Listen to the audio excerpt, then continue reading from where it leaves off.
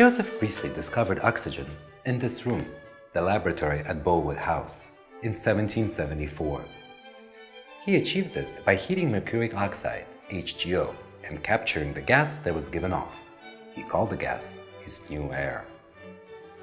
Oxygen gas had been isolated before by Carl Wilhelm Scheele, but Scheele didn't recognize its elemental nature.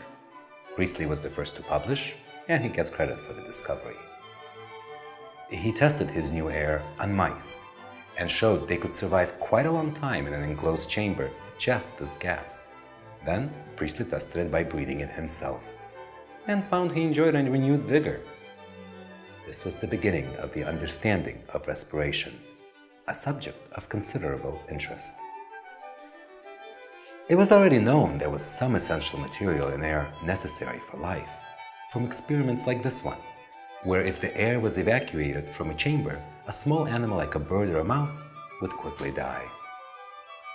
Antoine Lavoisier, a titan of chemistry, who was responsible for naming oxygen and establishing that respiration was essentially a slow combustion reaction, lost his head at the guillotine, one of the most despicable acts in the reign of terror during the French Revolution.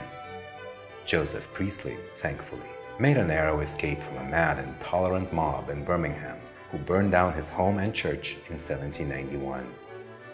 He fled to the United States and was able to continue his work until he died in 1804 of natural causes.